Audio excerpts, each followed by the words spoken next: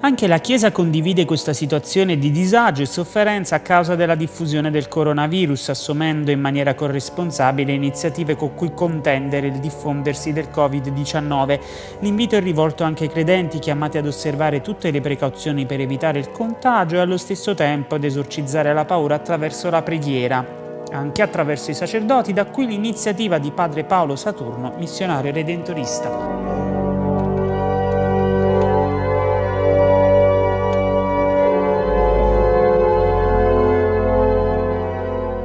Sono 22 strofe di quartine senari eh, con un piccolissimo ritornello che dice pietà Signore ascoltaci.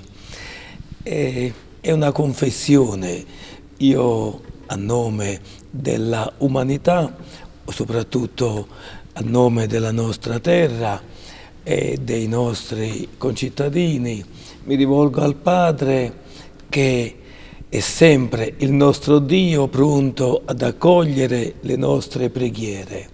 Noi non siamo degni di essere suoi figli, ma Lui è sempre un Padre affettuoso e poi in questo momento di dolore, di ambascia, a chi possiamo rivolgerci se non a Lui? E se Lui non volesse ascoltare la nostra voce, dice il testo, noi presentiamo attraverso Gesù questa nostra richiesta. E concludo poi alla fine dicendo che abbiamo comunque sempre l'intercessione, oltre che dei nostri santi, Sant'Alfonso, San Gerardo, i nostri santi redentoristi, soprattutto la Madonna, che è sempre madre amorosa, che non abbandona nessuno e ho chiesto al padre superiore, il padre Gennaro Sorrentino, di poterla cantare in questo periodo di sofferenza, di dolore di ognuno di noi al termine della messa, ma proprio come preghiera.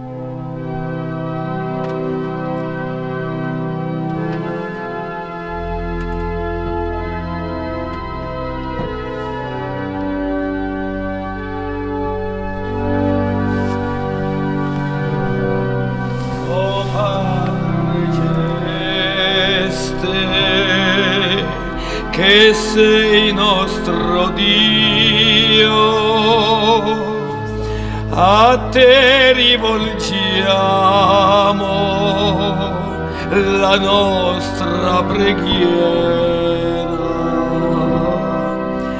Pietà, Signore,